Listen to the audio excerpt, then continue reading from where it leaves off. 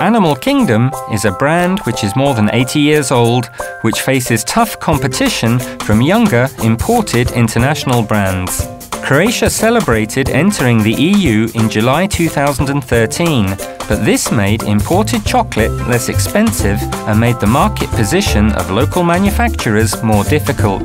This price pressure was amplified by another year of recession, in which the whole category dropped by 5% and consumers moved towards private labels and less expensive brands. Our task was to create a year-long digital campaign using only the client's own game portal and social media. The goal was to increase sales of the chocolate. But due to the recession, we had no online media budget to support our activities. Games, such as Farmville, showed us how much social media users enjoy building online farms.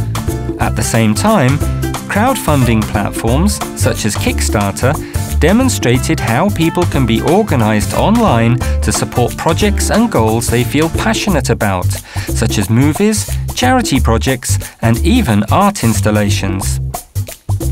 We combined these two insights into a single creative idea.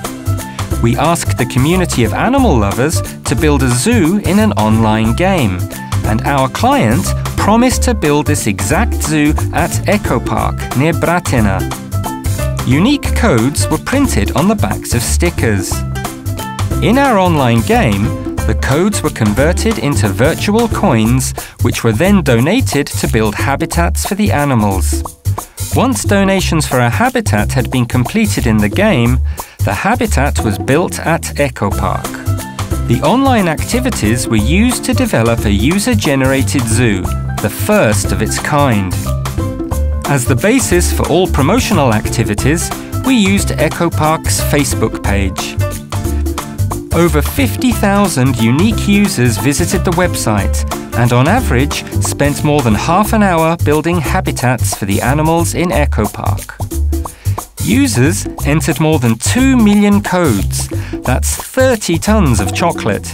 The codes entered contributed directly to a 22% increase in sales despite a 5% drop in the category in a recession year and the price pressure after joining the EU.